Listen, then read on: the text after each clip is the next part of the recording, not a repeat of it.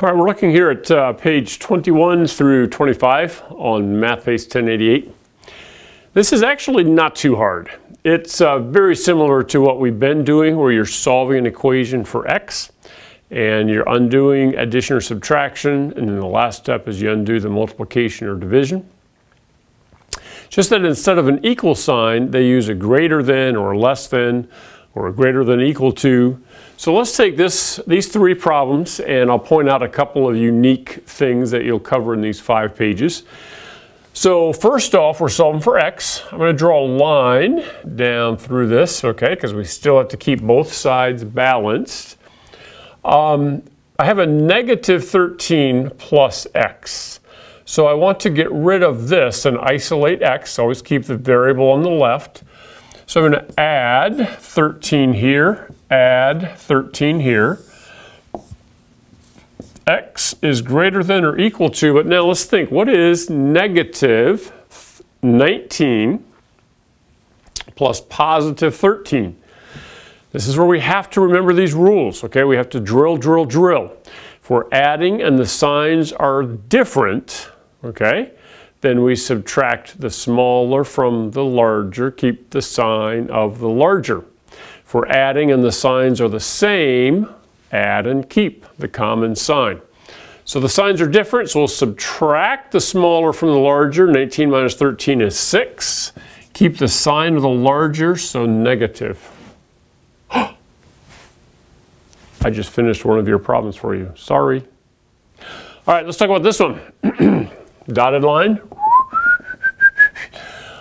We're going to undo the subtraction first. So we'll add 2 to both sides and get 13. And then over here, x over 3. I'm not going to finish this one for you, but you can see that the last step would be to multiply both sides by 3. And that way the 3 will cancel. We'll keep the x, keep the same symbol. If it's greater than, you keep greater than. If it's greater than or equal to, then you keep that little underline with it, equal to. It's kind of merging those two symbols together. This one is a lot more complicated. This is on page 25. All right, let's walk through the steps here. We have distributive property on the right. So I'm going to separate this to the two halves, distribute this first. So negative 2x, negative 2 times 7 is negative 14. Now my goal is always to keep the x on the left. so what I'd like to do first is get rid of the negative 2x. All right, so we're going to do that by adding 2x. And so we add 2x over here. So that cancels. This is not a plus, this is a dotted line. So less than or equal to, we'll keep the negative 14 here, and now I have 8x minus 22. All right, everybody follow that? So 6x plus 2x is 8x. I just brought that down, simplified this, all right? Last step is we're gonna add the 22, and then we're gonna have to think about subtracting the smaller from the larger, keep the sign of the larger.